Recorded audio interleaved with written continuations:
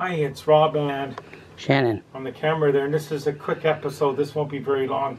It's Vancouver Island thrift store Hunter, so I think the play the playlist is actually thrifting at thrift stores on my channel. I went to uh, one of the thrift stores today, and it's nothing too exciting this time. The first item is, is, is for is for my desk, and there's two bucks, a, a little desk, a little desk clock for the office. So I thought I would put it like on the desk and set my Google Mini in behind it. Right then it will look like it's got a clock. That's just just kind of a neat little thing, right? Then um, I, I got a couple of. Oops.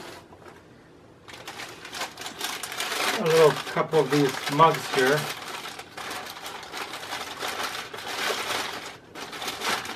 Have to wrap them back up.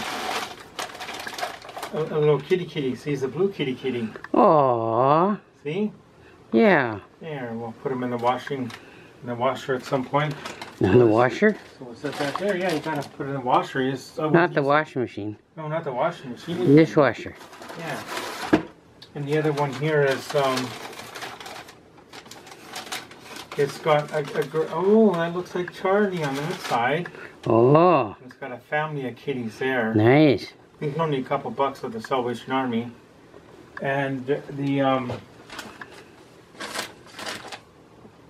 over here, Shannon probably well Shannon noticed this right away. It's a unique board golf game.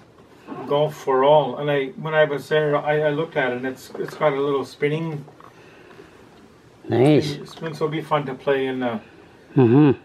at the bar here one night. And there's one more item in here. It's kind of a collector's item, and it's still sealed. I probably I'll probably keep it sealed. Another two dollar item, Hockey Night in Canada, the DVD trivia game. Oh, wow. And it's factory sealed, and it's got uh, on the back. It's got like Ron, a picture of Ron McLean and and Don Cherry. So it, it's very unique to find it still sealed like that, because um, I can't quite pic- picture the year. The year. Well, it's in. Um, oh, it says 2006. So that's. Oh, wow. 13 years ago, right?